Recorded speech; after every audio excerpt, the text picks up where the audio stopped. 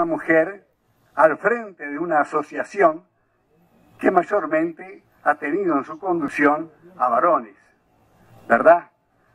A gente que ha hecho su camino y, y ha destacado y ha llevado adelante la asociación agropecuaria.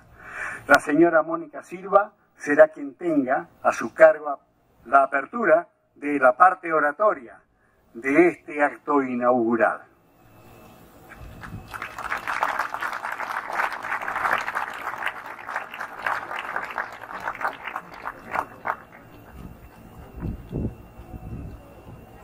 Buenas tardes para todos. Y quiero aclarar que hoy el doctor Ron, Ron de Colina no se encuentra acompañándonos y vino su equipo porque él está en Montevideo en reunión con la Comisión de Presupuesto. Con eso digo todo. Señor embajador de los Estados Unidos, señor Ken George,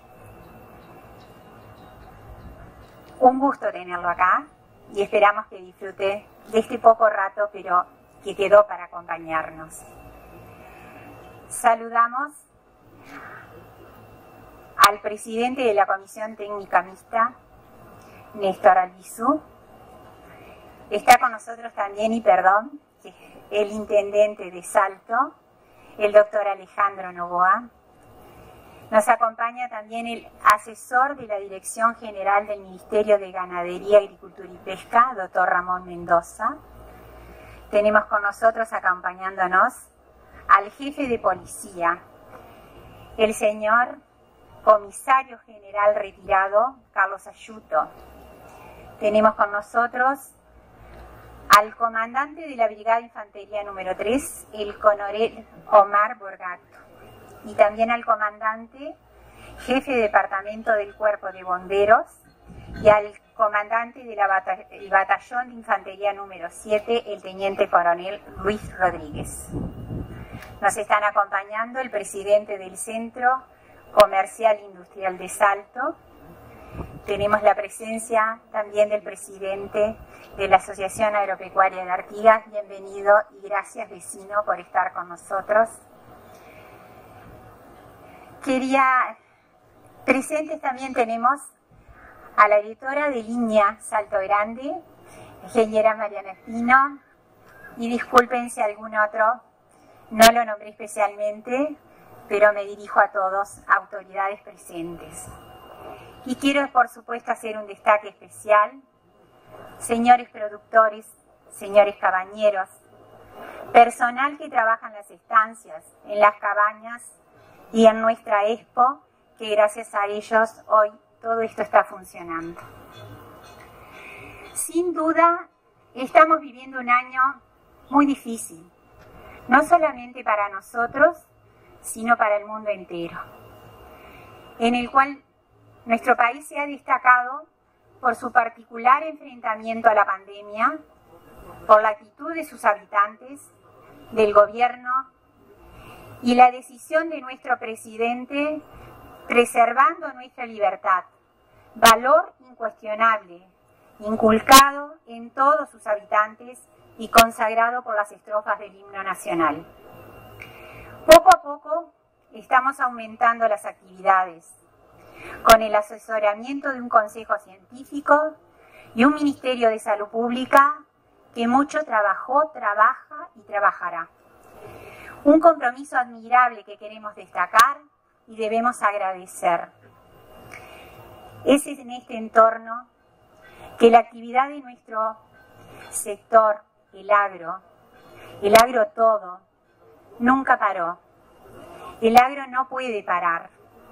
Los tiempos de cosecha, de siembra, de encarnedada, de entores, las pariciones, los embarques a frigoríficos y a puertos, el sector hortícola abarcando sus múltiples facetas, el ordeñe diario del sector lechero, los tiempos biológicos en vegetales y animales no se detienen. Por lo tanto, la responsabilidad del sector de llevar adelante la actividad que genera los ingresos claves del país y tener los alimentos para la población no solamente de aquí, sino también en otros lugares del mundo.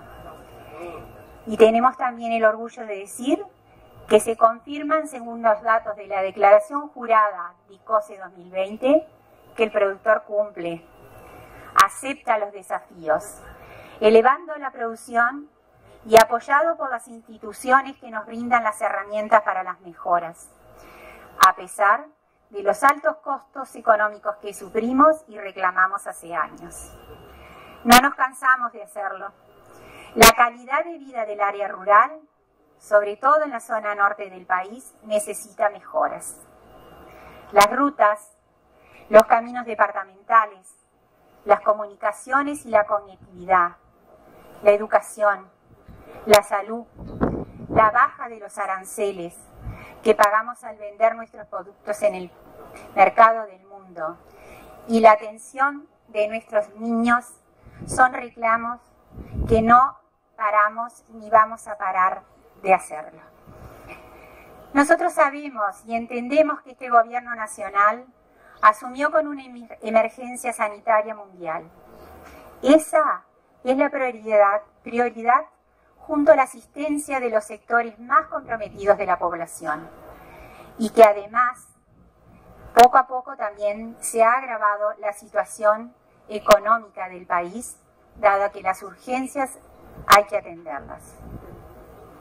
Conocemos que falta la aprobación del presupuesto quinquenal y no dejamos de destacar el compromiso que demuestra el gobierno con el sector. Su preocupación por hechos demostrados nos dan esperanzas de ir poco a poco mejorando las necesidades y la calidad de vida de toda la gente que vive tierra adentro.